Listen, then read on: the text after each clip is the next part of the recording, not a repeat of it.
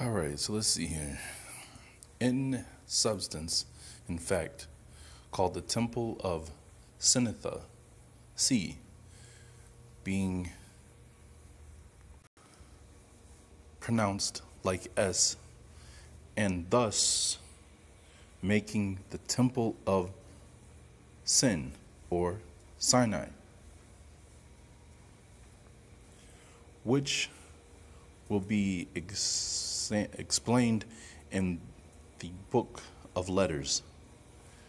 Lord Kingsburg, Burl, Bergs, yeah, Bergs, and that's um, that's the character that I, I uh, also mentioned, uh, which just reminds us of the. Uh, I need to look into him because he's mentioned in that book, The Shadow of Atlantis. Um, remember, I, I, bought the book uh, because I wanted to find where um, it's stated that how was it? Um, one of the uh, interpreters wrote for Christopher Columbus that uh, when he wanted to send interpreters to speak to the inhabitants of the West Indies, he sent interpreters that spoke Hebrew, Arabic, and Chaldean. Now, I bought the book and I'm not sure if I have the right one or if I have the right uh, edition. Um, because I'm almost positive, and when I downloaded the PDF, it stated what I was looking for. But when I bought the book, it did not mention that quote at all. Um, I got it from that video where uh, they put together a compilation of different saint, uh, quotes that uh, we were always here. Um, it was strike. It was taken down. Um, I remember it was um, Jonas Bay who read these certain books because like I, I, bought the book. He mentioned uh, Songs of the Earth, where they says uh, where uh, I forget the tribe. It's in Washington State, but they said that we're black, you're white. When you cut us, we bleed don't we bleed uh, red just like you? Uh, when we speak, you do not understand us. When you speak, we do not understand you. That whole thing. Um, and some of the books he had mentioned that I could find, uh, they actually, but that book, The Shadow of Atlantis, didn't mention what the quote that I was looking for because I thought that was that was uh, that was a home run. But that guy, uh, Lord Kingsborough, um,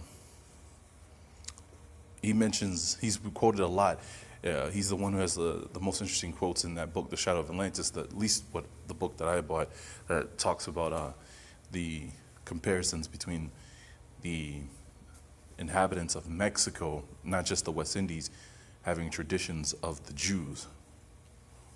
So, uh, bear with me for a moment. All right, so calls it Sinai or Sina. I feel little doubt that one of the first names of God in the first written language, for reasons uh, which, which I shall give when I explain the origin of the letters in all nation languages and times, would be D Divus, with its variants of forms. The next, perhaps, would be descriptive of 360. Now, remember, this is, um, oh, oh I forgot to mention, this is the reading from Godfrey Higgins' book, uh, Anacliptic, Volume 1. Um, he teaches in this book that the Asiatic, the Afro-Asiatic, the curly-haired Buddha um, would have been well versed in algebra. Not, oh, whoa, whoa, I misspoke. I knew I was going to do that. Sorry, not algebra, but calculus. That um, it was one of the studies that we had mastered. Um, so when he puts this in these formats, you know, think of it as a calculus equation. Okay? Um, 360. Let's see. This might be described, oh, I already, yeah, eh, oh, in various, in various ways as TLI, T300, L 50, I 10, equaling 360. The meaning of the three of these three numbers would be the glorious ord, which, hold on, let me make sure I had that right. Let me make sure I had that right. Yeah, orb. I think that's right. Um, where was I? We daily, we daily behold the Son and God for reasons which I shall assign. I suppose D was the first and the prevailing name of God during many generations. Afterwards, the astronomy so much improved that the knowledge of Niels, Niels, like, uh, was it, the, isn't that the, um, what's the house? Um, oh, shoot, uh, Rome, right? Niels of 650 was acquired the name TTL 650, 650 was adopted as his name. And we have it in Mexico. This is where I wanted. This is why I wanted to do this, because um, it picks up here uh, in Mexico, where let's see, where figures were known, but not not uh, not syllabic letters. Syllabic letters. Um, uh, what was syllabic? Syllabic was a system of symbolism, uh, symbolisms. Excuse me. In the name of the deity Teotl, the periods shown how far at the time in which they branched off from Asia, right? Um, because Godfrey Higgins explains that um, that the Buddhist would have been, and, he's, and he, this is his words, not mine. The curly-haired Buddhists, they were the priest that if you wanted to enter into Europe, um, you had to take, you had to approach these Buddhists and ask them to be the leader to lead them into Europe, which explains why um, when you look at certain periods, um, how was that? I forget how it went. Um, uh, what was it? It will come back to me. But you had to have a Buddhist priest to basically, from what he's teaching, to go into certain parts of the world, to take your people in there to settle.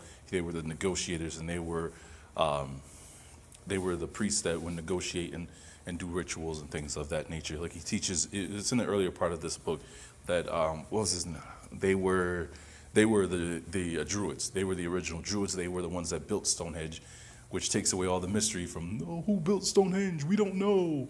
Well, he says right here, oh well, it was actually built by these curly-haired, uh, thick-lipped, um, dark melanin hues people, and that's why you don't know because you're hiding who they are which then goes into something that Lexa taught. Look at uh, look at the, the history of, of trees and plants and, and the names and stuff like that, which we are supposed to know. Like, what are these people that pretend to be druids? All oh, there's tree huggers and stuff like that. They're supposed to know all the trees, who's the king of the trees, who's the queen of the trees, you know, so on and so forth. Like I I was shocked when I started looking up uh, the creator's name and looking for trees and found there's a portion of them down there in. Um, was it uh, near Guatemala in Belize, in Belize and in Guatemala, and and, and it's literally the Hayahaya tree, and who settled there, the Mayans, and it's like uh, what was it? What, what, what was the, one of the things I thought was crazy when you read the book of Maccabees? It says the, at the end, the last son of the Maccabees built seven pyramids, one for his father, his mother, all of his brothers that were slain, and including himself. And it says these seven pyramids can be seen from the shore. Well, go search for seven pyramids, Go search from seven pyramids that can be seen from the shore, the coastline, wherever. You're not going to find them over there in uh, the Persian Gulf. You're not going to find them over there in Asia. You're going to find them, in my opinion, in Central America and in Belize and places like that, where from the Gulf of Mexico, there are pyramids. Some of the pyramids are now on islands because of the water rising. I don't know. The face of the earth has changed, I guess. The surface of the earth. But there are seven pyramids that can be that are, that are along the coastline. And then you look at the Mayans and how much the Mayans resemble the Israelites. So let's see. Um, the knowledge of the system had extended their, their period from the creation to Christ of 5,200 years. Embrace the eighth ages of their cycle. And you see, I was I'm specifically trying to find the portion of this book where it talks about this this cycle that here of 360, um, three, uh, 600, um, 350. He explains that this cycle it, it has connected to the stars, in that it's the pouring out of what is trapped in the stars to reincarnate themselves into babies that are being born during this time period, which now having a little bit of understanding of, of um, sex magic and what that ritual is about, it starts to line up and starts to make sense, especially when you see it in movies like the Ghostbuster, right, where the painting during, you know, with the towers that they built on top of the, the hotel or whatever and whatnot, um, the painting holding the spirit being the gateway to allow at that certain time its spirit to come into the child, right, and take over. And where you see that now all in different aspects of where they try to show you that this is what they're doing and this is what they're waiting on and planning. Let's see.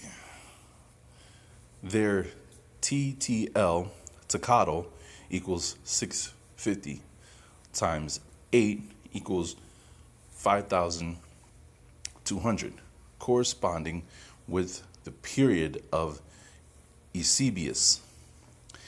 In, let's see, in what? In India.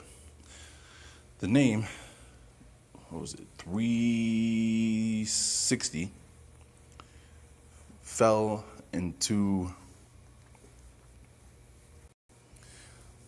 disuse and was lost and was probably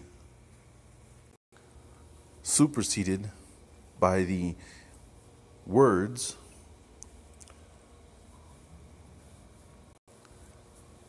Titalu, six, six, and six.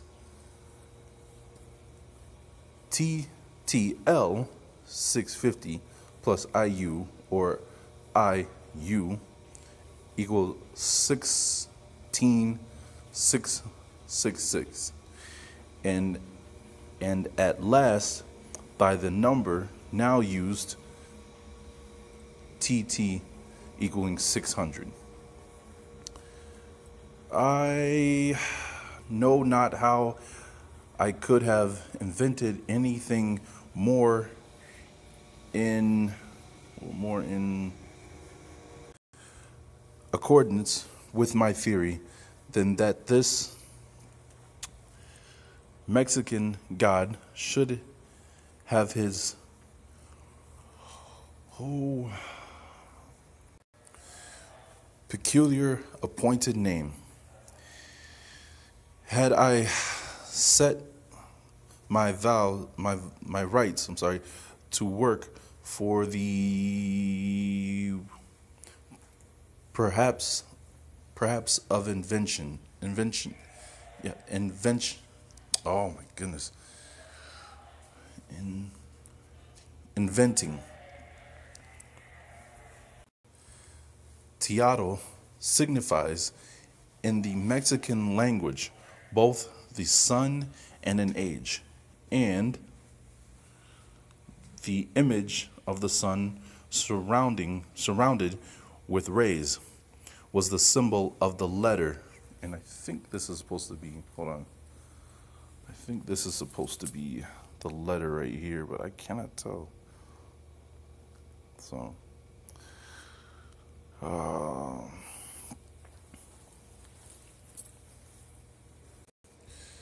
Mr. Fred Schlegel, Schlegel has observed that the word, um, let's see,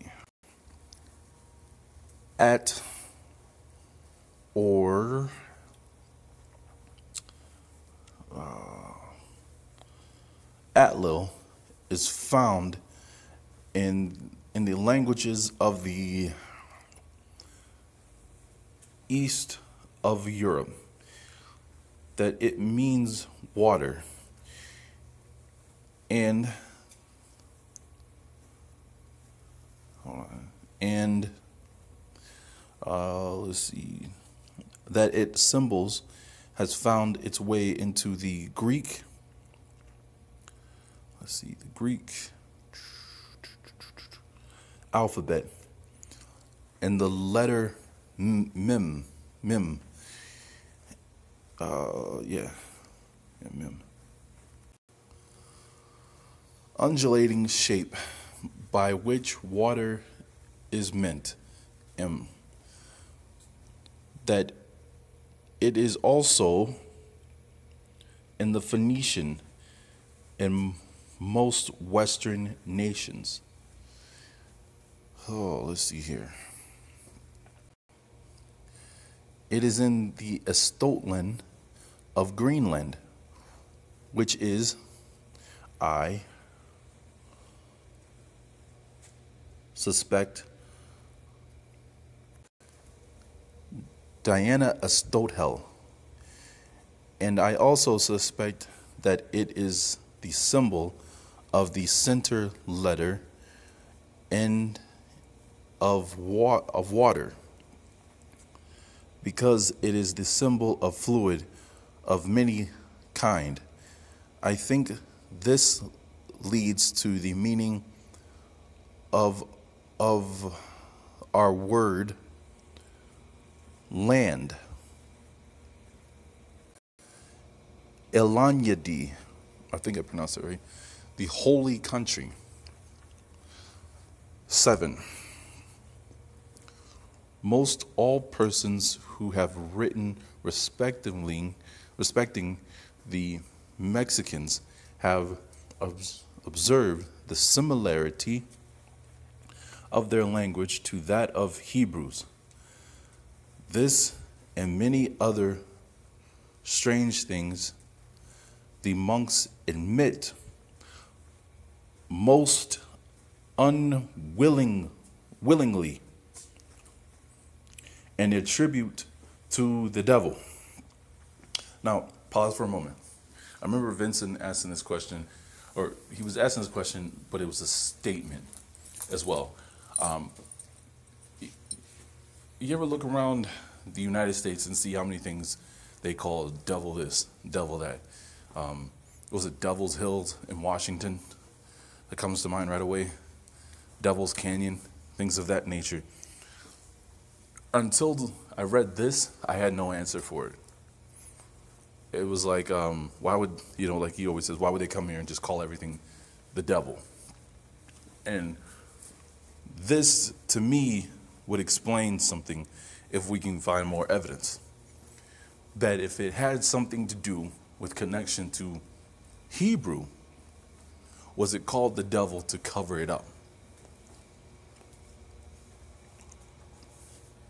Because you can almost see this pattern that to the invading people to cover up what they've done, they're invading, you're the enemy to them and to cover up what you've had and what you and what they're taking, they don't want to call it what it what it would have been historically because they don't want to leave any traces of what they've done. But to remind those who would know to look for this specific word, they call it something like this the devil, the devil's canyon. I mean, look at Mississippi, right, with the, uh, with the, the devil's punch bowl. And look what they did there. I know you say, oh, well, that defeats the purpose of it being connected to the Hebrews. I'm just saying it's a thought process. It is unique that they would call all these different places the devil. So here they're stating again that the monks, which I always say, what? Go and get the Spanish writings. Go and get the Jesuit writings if you can. Look where the Jesuits led the French army and other armies. Because you're going to find there, they knew exactly what they were looking for. And you've got to be able to look around the editing of the version of their voyage to be able to see why they were looking for this. Like when you start a journey, um, when you read that the Spanish was it, the Spanish started their journey in Florida to search for the West Coast because they knew that the West Coast had cities that were built. How do they know there were cities already built in the West Coast? Is in the question. And you almost forget it when you start to read through the journey that this is what they're going for. But how would they have obtained that information so they knew that their quest was not a waste of time?